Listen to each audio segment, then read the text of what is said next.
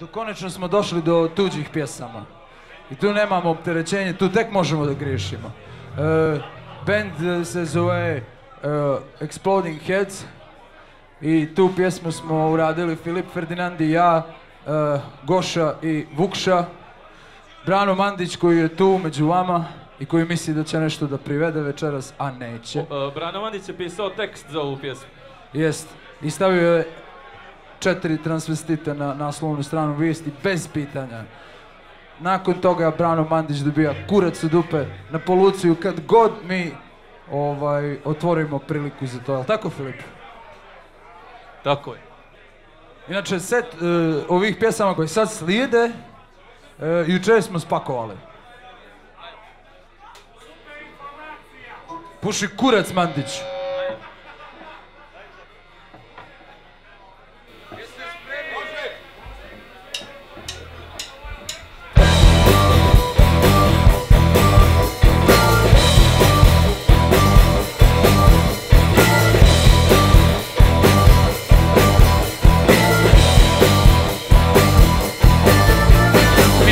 Izašao sam u Berlin Da popijem pivo.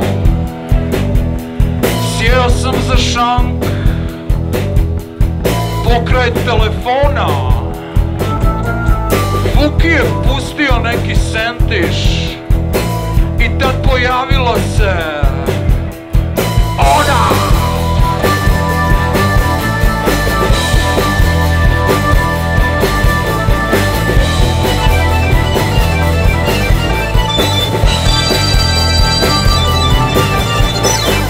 Naručio sam piće Zapalio cigaretu Šapnuo na njeno uvo Baby, hoćeš da mi popušiš u toaletu? Rekla mi je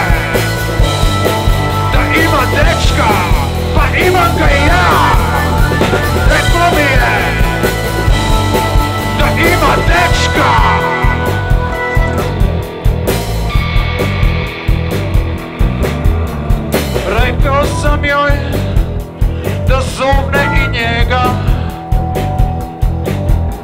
Jer dva su kurca mnogo ljepša nego jedan. Ustala je ljuto sa barske fotelje I počela da urla. A bez bećenja, bez bećenja Sve tri rupe